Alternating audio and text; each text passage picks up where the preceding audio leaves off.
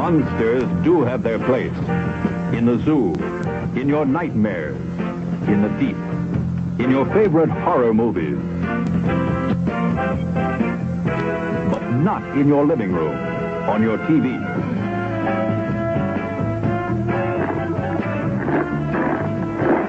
Don't let pay TV be the monster in your living room.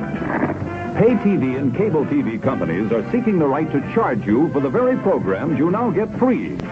If you want to stop pay TV and save free television, sign the petition in the lobby of this theater.